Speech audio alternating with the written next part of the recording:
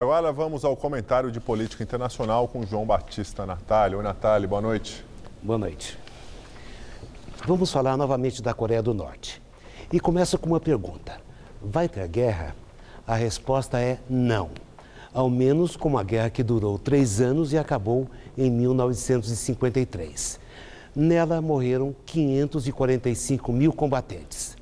Naquela época, os comunistas norte-coreanos tinham o apoio incondicional da China, que enfrentou os sul-coreanos, os Estados Unidos e seus aliados. Mas agora não interessa aos chineses enfrentar os americanos. Os Estados Unidos são o maior parceiro comercial da China.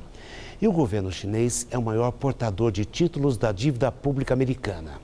Dá um trilhão de dólares. É a caderneta de poupança onde a China deposita suas reservas cambiais. Já que é assim, quem hoje apoiaria a Coreia do Norte? Ninguém. E é aí que mora o perigo. A ditadura comunista está isolada e se dá o luxo de criar e insuflar tensões.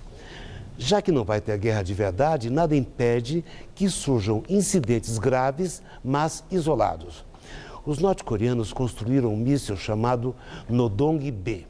Ele pode atingir Okinawa, no Japão, e também bases americanas no Pacífico e pode, é claro, ser lançado contra a Coreia do Sul. Detalhe importante: o míssil norte-coreano não consegue transportar a bomba atômica. A Coreia do Norte tem apenas três bombas, segundo os serviços ocidentais de espionagem. Elas são muito volumosas e pesadas. A União Europeia não acredita em guerra. Os Estados Unidos também não. Mas a crise preocupa seriamente o Japão não é por acaso que os americanos operam no litoral japonês com mísseis de interceptação capazes de destruir em voo qualquer loucura lançada pela Coreia do Norte.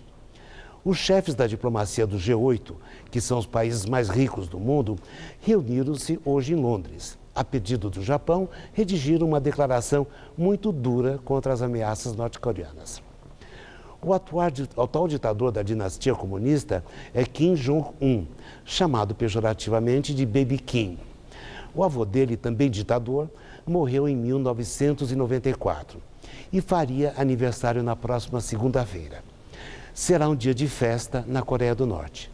Nada impede que esses malucos, em lugar de lançarem rojões, acabem lançando algum míssil. É assim que o mundo gira. Boa noite.